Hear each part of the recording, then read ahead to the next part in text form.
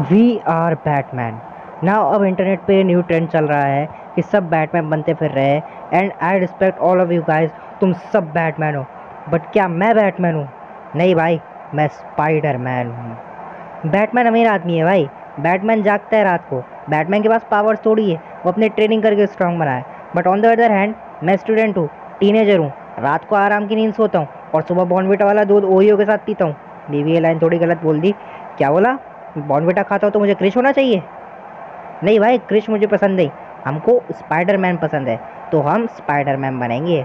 मुझे नहीं मालूम कि तुम बैटमैन कैसे बने बट नाउ अब मैं तुम्हें अपनी ओरिजिनल स्टोरी सुनाता हूँ कि मैं स्पाइडर मैन कैसे बना, और अगर तुम मेरे रेगुलर व्यूअर हो, तुम्हें लगा होगा कि इस वीडियो में मैं कोई बकवास करूँगा और लाइफ लेसन दूँगा तो आज मूड नहीं है। इस वीडियो का असली टाइटल है कि मैं स्पाइडर मैन कैसे बना।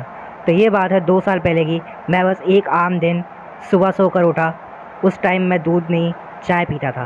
पर चाय के साथ मैं अपना ओरियो खाने वाला था। ओरियो का मैं हमेशा पाँच बिस्किट वाला पैक खाता हूँ, जिसमें दो में से लिक एंड डिप करके खाता हूँ और टू विदाउट लिक किए खाता हूँ और एक विदाउट डिप किए खाता हूँ। ना मैंने ओरियो पूरा खा लिया, पर मुझ मासूम को क्या पता था कि उस ओरियो बिस्किट के पैक में एक मकड़ी थी और वो मकड़ी मेरे पेट में जाके हजम हो गई।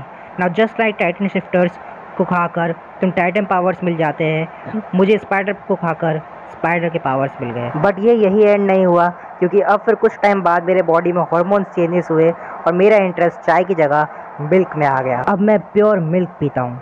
ऑफकोर्स अमूल का काव मिल्क पीता हूँ। तुम क्या सोच रहे थे? मेरे पावर्स की सीमा सिर्फ़ स्पाइडरमैन तक नहीं रही। मैंने बॉर्नविटा खा के जादू के पावर्स को भी अपने अर्सनल में ऐड कर लिया। और अब क्रिश की तरह मैं टेन सेंटीमीटर जंप कर सकता हूँ। पर मेरी लाइफ इतनी भी ईजी नहीं है, क्योंकि मैं स्पाइडरमैन से पहले भी कोई था और वो था डेड और अब इस वीडियो के पार्ट टू में तुम्हें पता चलेगा कि मैं कैसे बना इंटरनेट का बेस्ट सुपर हीरो